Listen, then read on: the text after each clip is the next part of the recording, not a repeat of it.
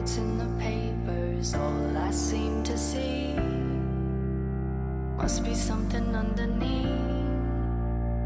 Take two, I'm still trying to figure out what makes you hard on the call. I guess it comes from your heart, cause when your head's right. There are many different species of certain organisms in the environment on our planet that all seem to have specific adaptations for the habitat in which they live in. How did this happen?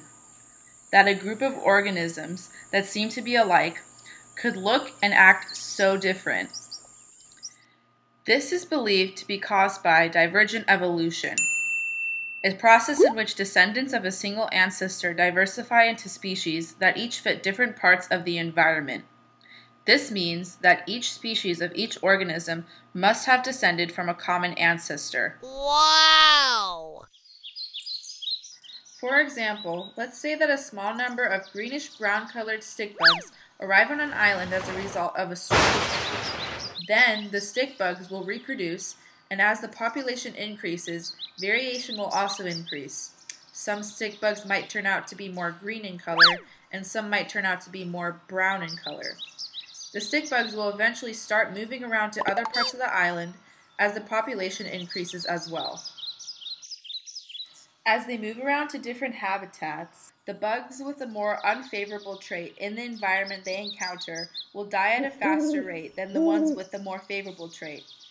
If there were brown and green bugs that were in a green environment, the brown bugs would die at a faster rate as a result of predation because they're easier to spot in a green environment, and vice versa would happen with the green bugs. They would die at a faster rate in a more brown environment as a result of predation.